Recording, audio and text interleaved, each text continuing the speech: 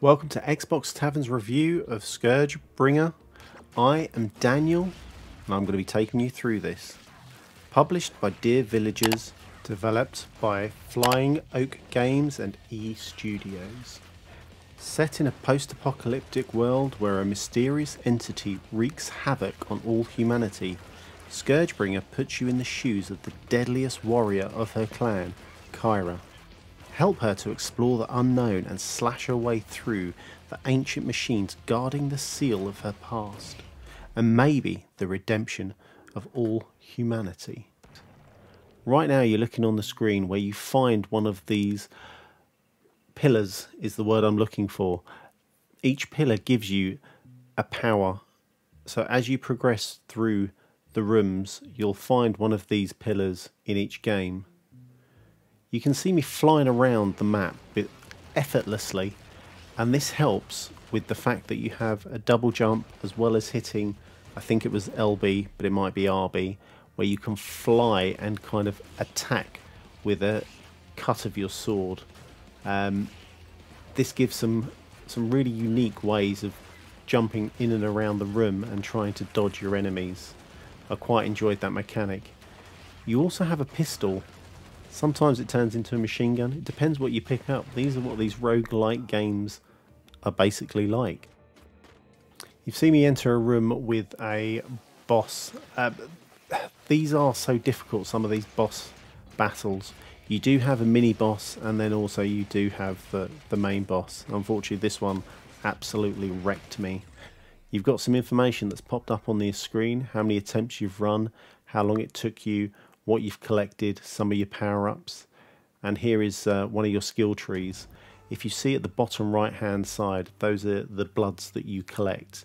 These are the ones that unlock your skill trees that give you either more XP, a ground pound. Uh, this is your, if you remember Dead Cells, your kind of where you've died, you go round jumping into that middle diamond takes you into the, the game again and lets you restart and wreak havoc, or try to, against these enemies.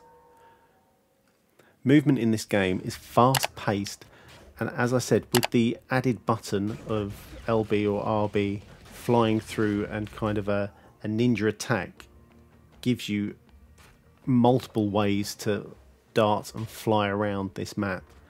Controls are smooth, it is enjoyable to play. Um, as you can see from when I kill enemies, little blood dots kind of come up and uh, attracted to me. That's your in-game currency, which you can collect and then spend money on later on when you come to a vendor. Um, vendors are, I want to say, potentially two per level or two per dungeon. Um, they do seem highly expensive as well, which is um, quite frustrating, but for the amount of enemies that turn up, sometimes it works. As you can see from this one, I've just been talking about how expensive they are. I could afford a cucumber on this part, which is ridiculous. But on this next screen, when you pause it, it gives you an element of all the things you're collecting through the game. So whether you've got plus five for your damage or minus for one of your passive abilities. Um, there is a lot of information on that screen.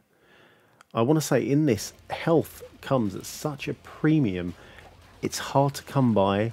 Most of the time, you have to get it from one of the vendors, or if you're super lucky, one of the enemies you kill may drop something that will give you, you know, plus three health.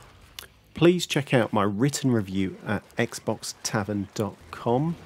You'll also see the scores, the good and bad points from this game. You'll also check out some of the other people's reviews as well.